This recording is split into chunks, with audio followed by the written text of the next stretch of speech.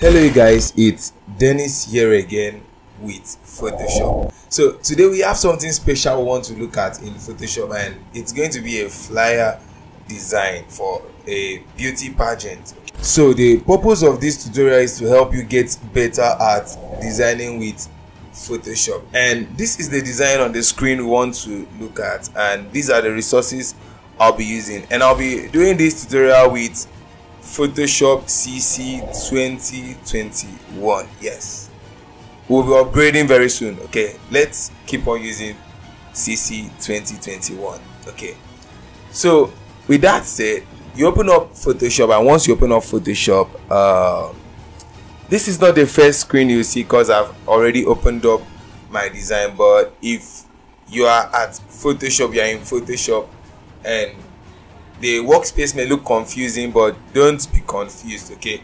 You can come to windows you come to workspace and you come to reset essentials. That's if you are at essentials default okay? Then you can set your workspace like this. And why i like keeping my layers around here so i can see everything here you know this space is too small for my layers to be there. So i bring out my layers panel to this other side okay? That looks cool and very nice. Good. So um with this we are going to start the design. I'm going to click on file and click on new and once you do that it brings up this dialog box which pops up just like this and the dialog box will help us to create the canvas we want to work on okay? So you come to where you have your preset details and when you have your preset details you can see where you have the file name so you can set your file name there uh, whatever you want how you want it to be. And next thing you want to do is to come down to where you have your unit. You can change it to pixels good. And set your width to 2000 and set your height to 2000 as well. And once you get that done make sure your resolution is at 300 yes it's okay if your resolution is at 300 but 300 pixels per inch is best if you are going to print the design you're about to do but if it's not just print it's something that I want to end online. 150 pixels per inch is still okay. But personally being that i'm someone that loves quality all the way i prefer designing with 300 pixels per inch okay? Then we come to where we have our color mode. Rgb color it's perfect okay you can leave every other thing at default and click on create. So once you do that it opens up this canvas where we are going to design on. And the next thing we're going to do is to unlock our background okay?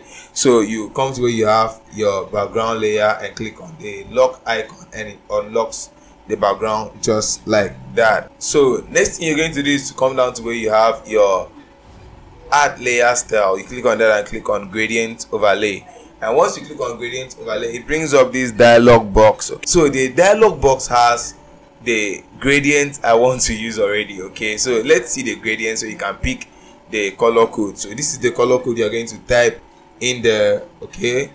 That's the color code c60ad7 cool. And once you type in that color code you hit on ok you get this gradient okay so this is the other side of the gradient something like this and same thing here.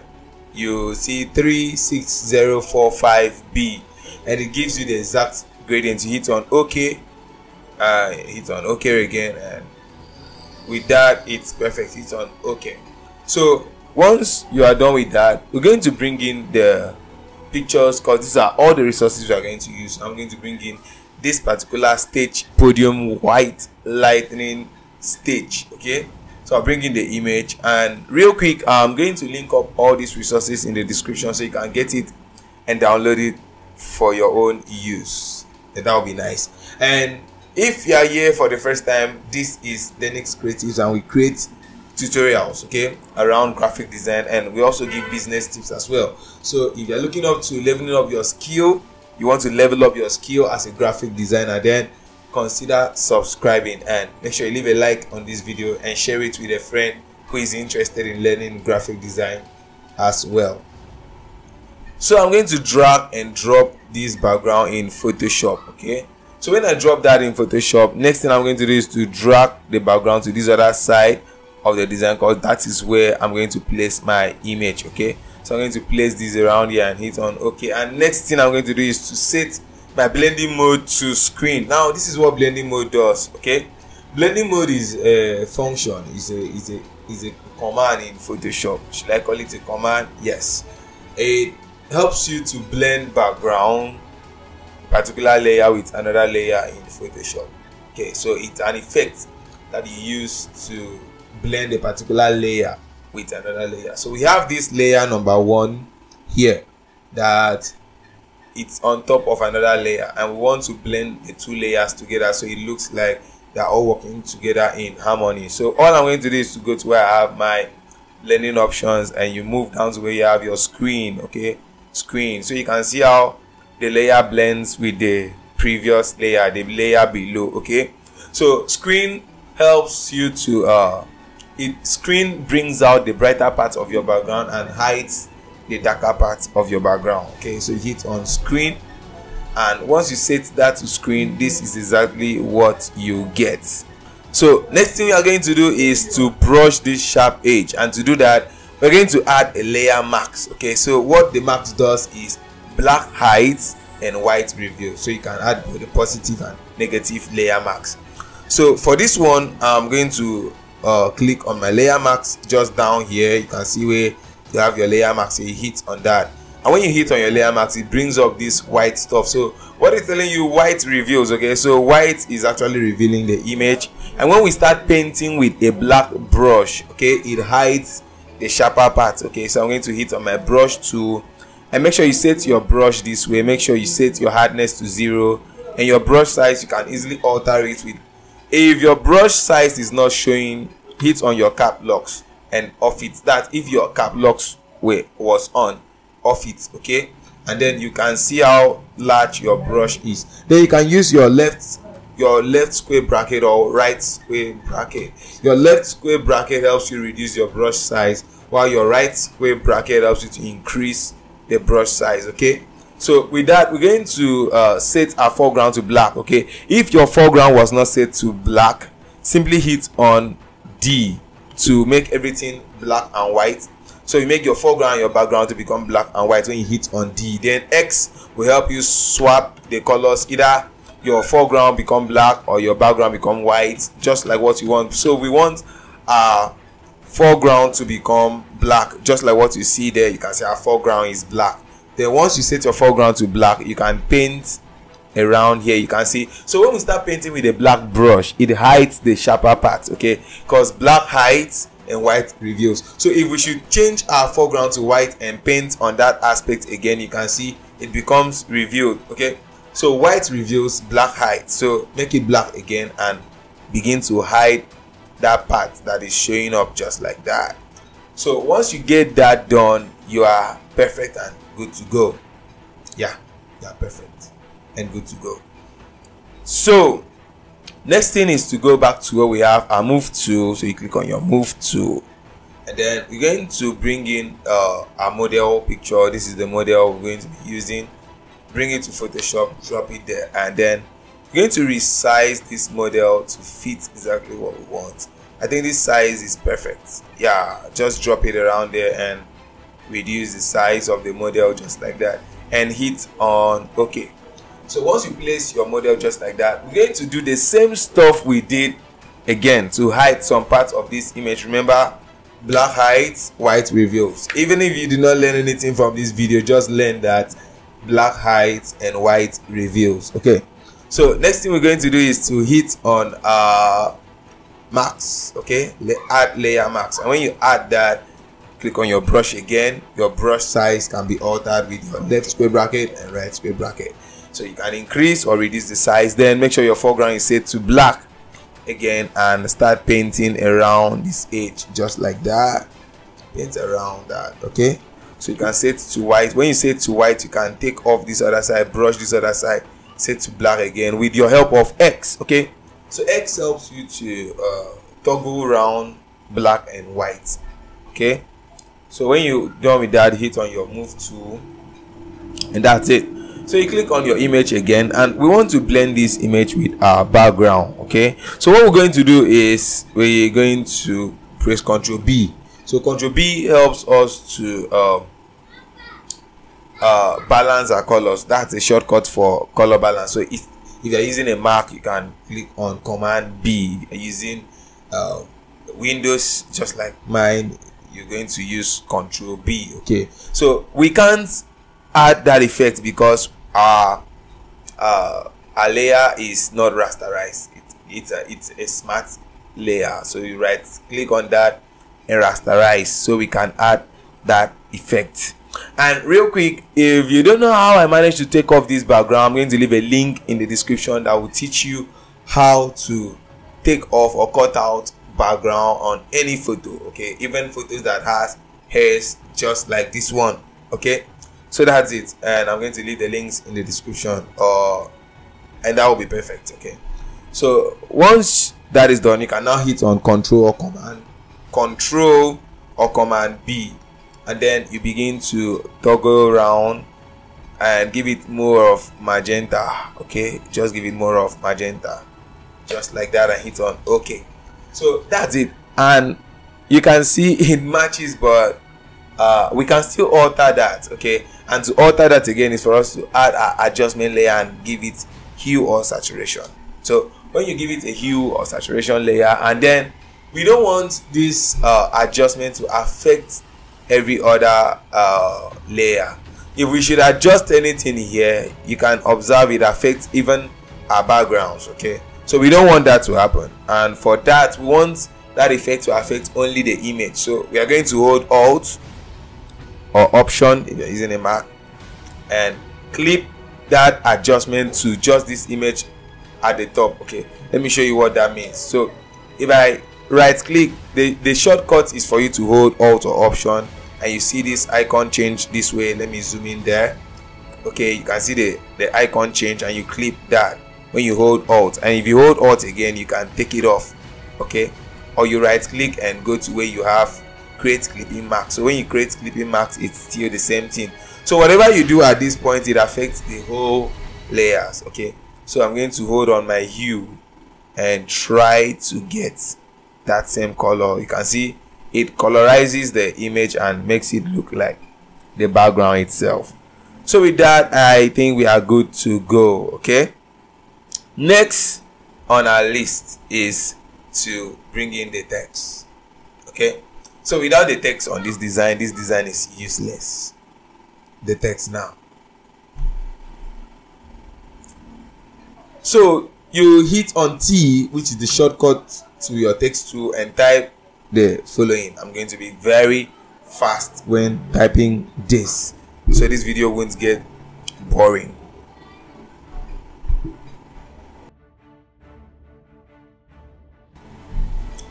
So, there, this is it. Are you ready to be the first ever? I'm going to highlight all, Control A to highlight all and give it a white color. And then the font we're going to be using here will be Folk Law. Okay, I'm going to zoom in there so you can see the font Folk Law.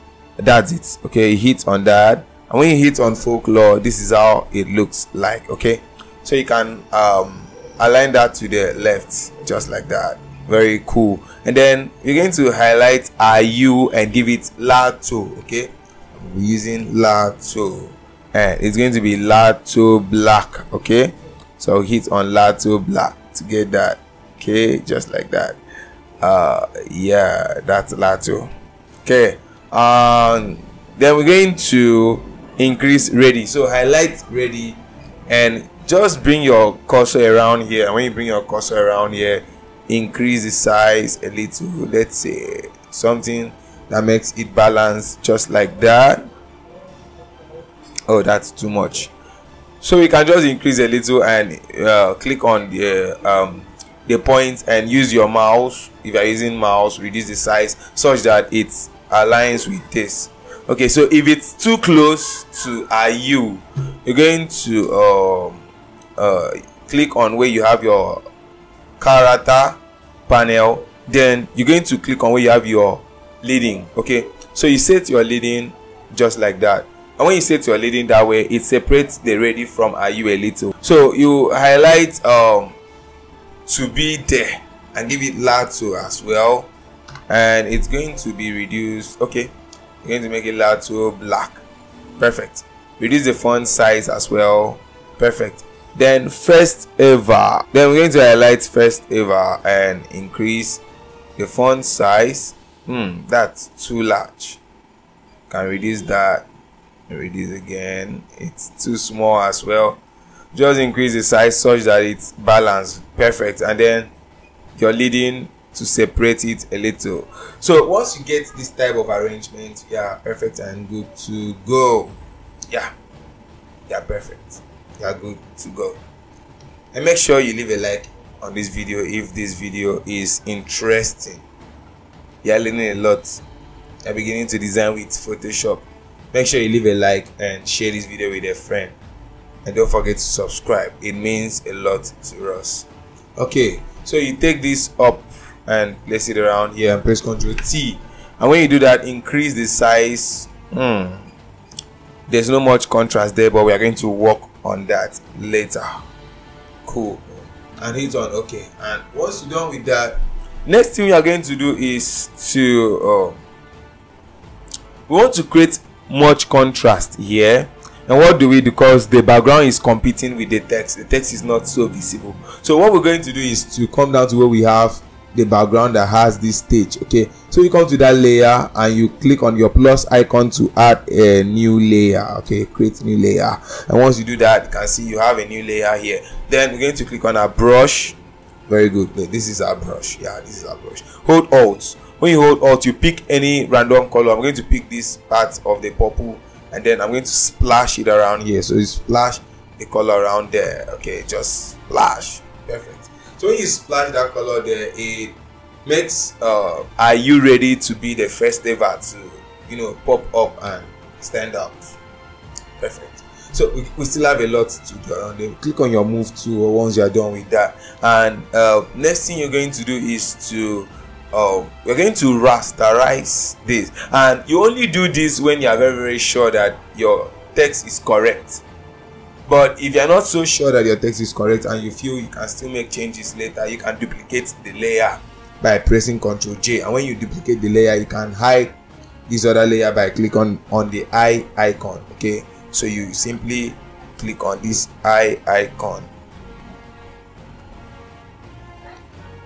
So when you click on the eye icon it hides the other layer and then you're going to click on uh, the top layer and rasterize that. So you can just click on rasterize type. And when you rasterize type you can press ctrl t. That's because we want to transform okay? So we can't transform this layer freely if we do not rasterize. Same thing to every other layer if it's not rasterized you can't transform them freely just like the way i want to transform. So you hold control and hold on this aspect and create this perspective effect just like that you get you get yeah you're beginning to get what i'm trying to do.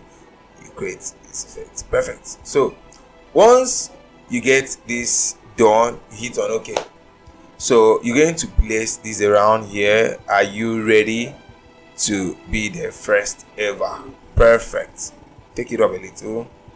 That's cool so let's take a look at our previous design. You know we have done this design already on our space and deliver so this one is just a tutorial aspect of it. So i'm going to shift this girl a little and bring this guy closer and this background can come closer as well.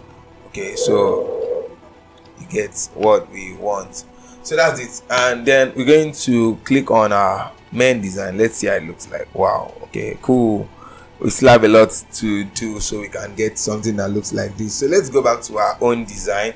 So you can still transform again transform. But then whenever you are transforming and creating this perspective make sure you do it in such a way that your text is still readable not such that after transforming and making the perspective some text will not be readable. Just don't overdo things okay? Don't overdo. Yeah put that down you have your pen and jotter with you you can write that down. Don't overdo everything. Yeah. Oh. Yeah. Okay. So next thing we're going to do is to add a glow effect. Yes i'm going to add some glow here. And to add your glow effect go down to where you have your add layer style and then you click on outer glow. And when you click on outer glow wow you get this dialog box that pops up and you can see your glow around here. Let me zoom in. Control plus icon can help you zoom in then let's see how it looks like. So we're going to uh, increase our size and reduce our spread okay? So your size should be larger than your spread. And then your opacity should uh, be set to let's say 41 and your color should be white. Spread should be zero. Size should be 76 pixels. So once you get that you can hit on okay let's see how it looks like. Are you ready to be the first ever? Perfect you get this yeah getting better. Trust me you'll be designing with photoshop as a pro. So if you're scared of photoshop guy level up your game. Don't be scared of photoshop. It's actually very very simple. So next we're going to type here is going to be face off okay? So hit on your text tool and click on that. Then you're going to type um, face off so we're going to make face off very large control t to transform and hold alt and increase the size just like that and place it around here. Perfect. At the center. So make sure you're at the center of the design and hit on okay so once you're there hit on okay and we're going to bring in this background which will be placing inside the face off so you click and drag and bring it to where you have your photoshop and place it just right there and next thing you're going to do is to hold alt. Remember i told you how to clip object so if you want to place this inside um, your text hold alt and click and it goes inside the text. Yeah. You can see what we get. And next thing we're going to do is to give it a shadow. So you click on face off which is the layer that contains the text. Okay. Hit on your layer style and drop shadow. So when you drop this shadow this is what we get. Okay. You don't have to edit the shadow much because we still have more to do right there. Hit on ok so we're going to add the same glow effect we gave to uh, the text right here. Click on that and give it outer glow. And when you give it this outer glow this time around we're going to make this glow effect yellow okay? So give it a yellow color just like that okay? And then you can you're going to increase your opacity okay? Increase your opacity and reduce your size. So we get something that looks like that. So uh, yeah that's cool and very very nice. So your spread should be zero your size should be um 46 your opacity should be 63 then this color should be uh we need a a lighter yellow just like that. So you have this color code just right here. Okay so this is the color code fff that's triple f triple zero fff zero zero zero triple f triple zero to get this yellow hit on. Okay. And then hit on. Okay again. But let's adjust our shadow so our um effect can pop out very well. So we need more black. Okay. So you make your opacity to be 100 for the shadows. Make sure you click on the drop shadow here. And then increase the size of the shadow a little. Just like that and your spread should be reduced. Okay increase your spread a little. Okay let's just say your distance should be 6 your spread should be 15 your size should be 68 yeah. Opacity 100 hit on okay so let's see what it looks like. Oh this is not really clear. This is not really clear. So let's find out what's wrong. Okay. Outer glow first. When you double click on that effect you can reduce the opacity. Perfect so you can see our opacity was too much. So make sure your outer glow opacity is 32 hit on okay. So we have much contrast there and that's perfect and nice. Then next we're going to type is um beauty skincare. So okay. So set that white and then we're going to bring it to the top layer. Remember we did not set our text to the top layer and let's take off these clipping mask that's why our text was not showing up. So uh, we're going to type Lenis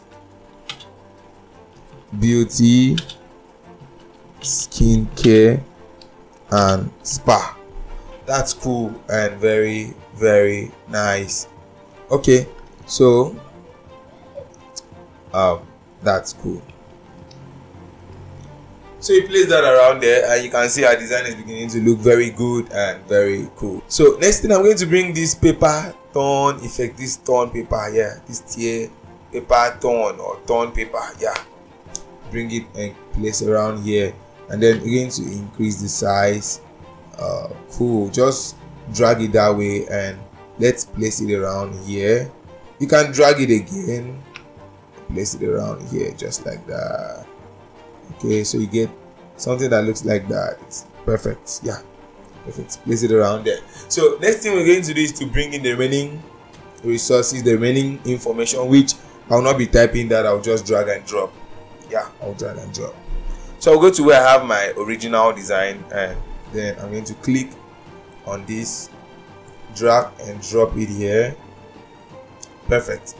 Place it around here. Uh, cool. Yeah then i'm going to drag and drop the rest information as well our contact details. Perfect. So this is our facebook page and our instagram page so you can just check out Lenny's beauty skincare which i'm going to put in the description.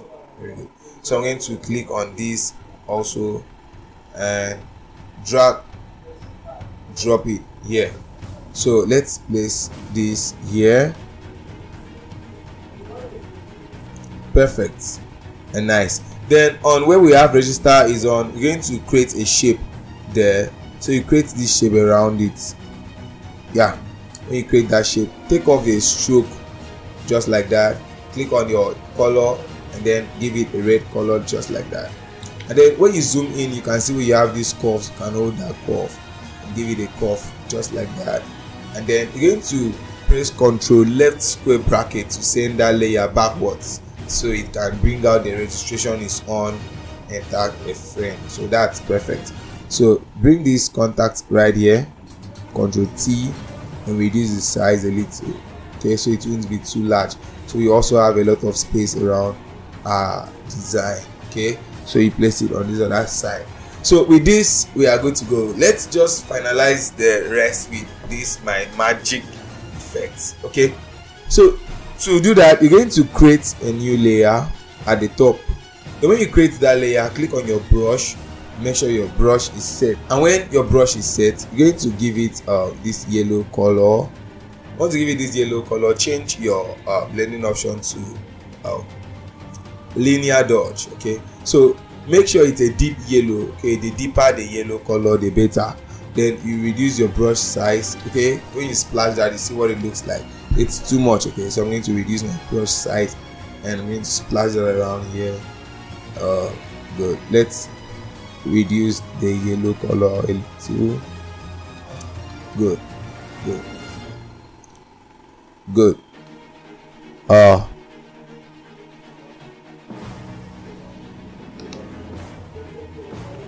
okay.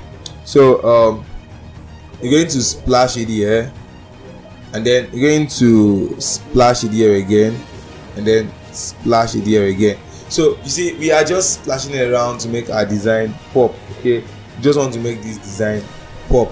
So once that is done uh, next thing we are going to do is to highlight all the layers and then we're going to give it um, camera raw filter. So to add the camera raw effect okay we're going to click on the first layer and hold shift and click on the last layer down here and press ctrl j.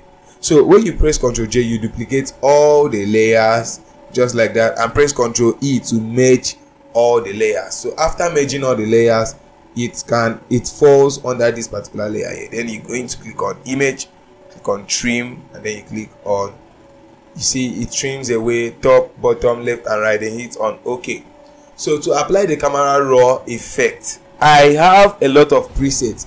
I've set like i personally made those presets.